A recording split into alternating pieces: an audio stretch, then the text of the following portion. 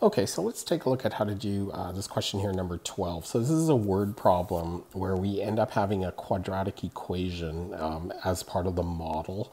And then the, the equation models basically the change in revenue um, whenever we change the number of um, the cost for each of the seats.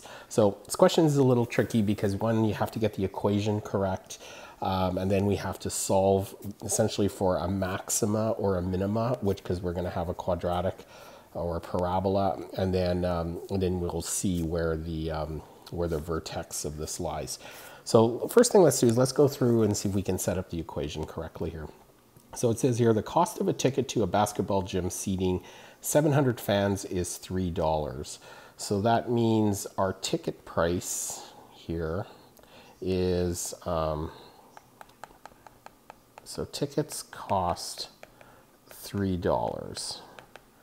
Okay, and it looks like we would, could have up to 700 fans, so that means um, the max revenue we could make would be 700 times 3, which is $2,100. So that's really all we know from that first sentence. Okay, and it says at this price, all the seats are filled. The owner estimates that if the price is increased, the attendance will fall by 100 will fall by 100, so 100 people for every dollar in increase. Okay, what ticket price results in the greatest revenue? So that's what we're looking to generate an equation to model. So the first thing we want to do is we need to define a variable that we're looking for here. So the it's and it's kind of it's hidden in this third sentence. The owner estimates that if the price is increased, the attendance will fall for every dollar increase. So that's going to be our variable that we need to define. So we're going to say let x equal the, the dollar increase in price. Okay, so if it goes up a dollar, if it goes up two dollars, if it goes up three dollars, we're going to have a corresponding um, change in revenue. So the next thing should, we need to understand is how do you actually calculate revenue? So revenue, okay, is equal to the cost per ticket. Okay, so we know that right now it's set at $3. Okay, cost per ticket times the number tickets sold. We can just say tickets sold. Okay, so that's in our head how we have to figure out um, what's going on here. So if, if tickets cost three dollars um, and we could sell 700, we know our revenue is going to be 2100. But we've got a, some variability now because we want to play with the price. So our ticket, our cost per ticket is always going to be at a minimum three dollars and X is going to be the dollar increase in price. So we could write an expression to say, what is our cost per ticket if we were to have the increase? Okay, so the increase, the cost per ticket if we increase, okay, is just going to be three plus X. Okay, and X, we don't know how high we're going to go, but we know that if we didn't do an increase, it would just be $3. If we did a $1 increase, the cost per ticket would then be $4. Okay, so that's the expression that gives us the cost per ticket. Now we have to figure out how many, how, what is the relationship between increasing cost and selling tickets um, and how many get sold. So it says here the attendance will fall by 100 for every $1 in increase. So if we think about this, if, if we make no increase in price, okay, that means X is zero the number of tickets sold is going to be $700. But let's say we increase the value of the ticket by $1. So that means X is 1. Okay, that means the tickets now cost $4. How, how many tickets would we expect to sell? Well, it says for every dollar we increase, we're going to lose 100 people buying tickets. So that means we can expect the number of tickets sold to be, go down to 600. Okay, and then if x is equal to $2, we would sell 2 times 100 less from the original amount, so it would be 500. Okay, so we need to somehow think about that as being an, uh, as an algebraic expression for tickets sold. Okay, and the way we would come up with that is, well, we can say the maximum number of tickets we can only sell is 700. Okay, and we subtract 100 tickets for every dollar sold. So that would mean we subtract 100 tickets times the number, times the, the dollar value of the price that it increases. So the correct expression for the number of tickets sold given a rise in ticket price is 700 minus 100x. Okay, and that's the pattern that we see here on the side. So if it's if, if we make no increase, we sell 700 tickets because it's 700 minus 100 times 0, which is 700. If it's 1, it's going to be 700 minus 100 times 1, which is 100, which is equal to 600, and so on. Okay, so this is what our equation ends up becoming. So this is a quadratic equation because we have x in two terms here. So we need to do, um, the next step here would be to just expand the terms. So 3 times 700 is 2100. 3 times negative 100 is negative 300x. x times 700 is 700x. There's our, that's going to be our middle term. And then x times negative 100 x is negative 100x squared. Okay, so what we have here is we do have a quadratic equation. It just kind of looks a little odd. So I'm just going to rearrange some terms so that we have it um, all together. So I'm going to bring the negative 100x to the front here. And then I'm going to collect like terms. So this is going to give me plus 400x plus 2100. So this is our quadratic equation. Okay, and a couple things that we're going to know here is we have a negative number in front of the x. So if we were thinking about sketching this equation, we would have, this would be a parabola that opens downwards, okay? Which means that the vertex is actually going to be a maximum at some point. Okay, I just made a sketch here. I don't know where the zeros are, where it crosses the x-axis, but I do know that it opens downward, which means that it's, it's going to be a maxima. So the question is, is we want to find at what price is the maximum revenue achievable? So we are actually looking for this price right here. Okay, X, whatever value for X is right here, that is going to be the dollar value increase that gives us max revenue. Okay, so we need to figure out what number is that vertex. Okay, so this is going back to similar to some of the other questions that were done, where all we really need to do is we need to do, a, we could do, a, do this a couple of ways. We could graph the equation, okay, and there are some easy to use graphing tools.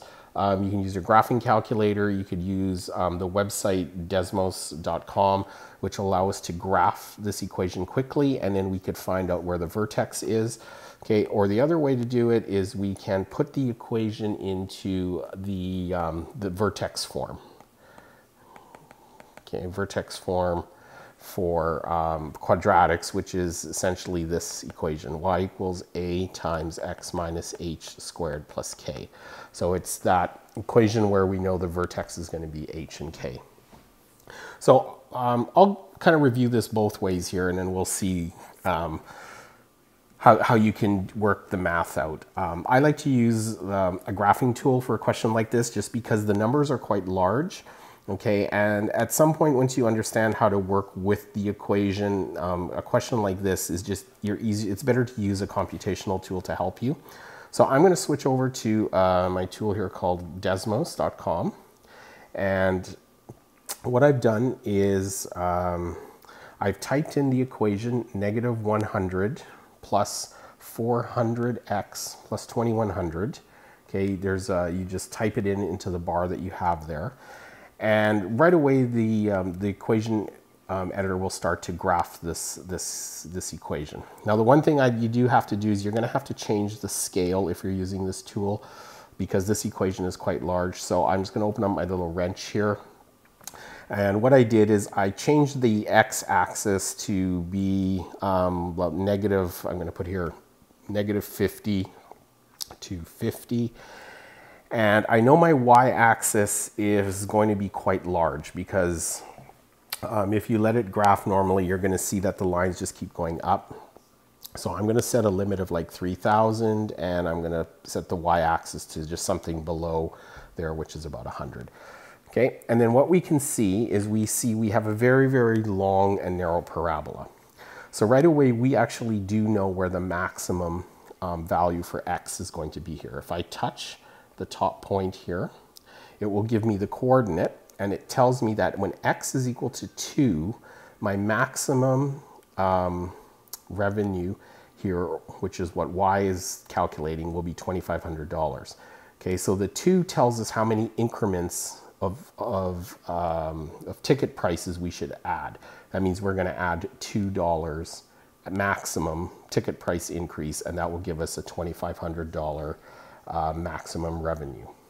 Okay, so from the graphing tool, okay, so if we do the graph, okay, we find that the max occurs um, at x equals 2. Okay, so that's the dollar increase in price. Okay, and the revenue, um, the max revenue is equal to $2,500 oops, 2500. So that would be the um, that would be one way to solve this equation. Okay, where you're allowed to use your either a graphing calculator or or um, or, or, or, a program like this. So just remember if at the two dollar mark, where that's how much we're adding. So the tickets are actually going to cost um, to three dollars plus two. So the tickets are actually going to end up going to five dollars, and you're going to get a max revenue at, um, at 2500 now, if you wanted to do it the other way, um, this is a bit of a longer way to do it, um, but it involves completing the square, but I'll, I'll, show you how this works. Okay, so we have our equation here, negative 100x squared plus 400x plus 2100. Okay, and what we really need to do is we need to put this into that um, vertex form. Okay, so what we are trying to isolate is group together this term, okay, and then we'll leave the rest um, uh, out of it. So the first thing I can see here is that I can factor out a negative 100 from both of these terms here. So this is going to give me plus 4, whoops, that's going to actually be minus 4x. I'm going to take out a negative 100, so that's going to leave me with positive x squared minus 4x um, plus 2100. Okay, so what we need to do is create something in this middle term here where we can factor um, and then and be able to put it into the, the vertex form because we have to have x minus h squared. Okay, so going back to our rules for um, creating a perfect square trinomial, okay, we could actually do the following here. Keep the 100 on the outside, we have the x squared by itself. Okay, I have the minus 4x. What I'm going to do is I've got to add a term here, and I'll have the 2100 leave on the outside. I'm going to add a number here that will make this a perfect square trinomial. So if we remember from our rules before, we'll take the middle term, okay, which is negative 4. We'll divide that by 2, so that's going to give us um, negative 4 divided by 2, which is negative 2, and then we square that, which means we can add a plus 4. Okay, so we're going to kind of fill in an imaginary or a missing term to make that a perfect square trinomial.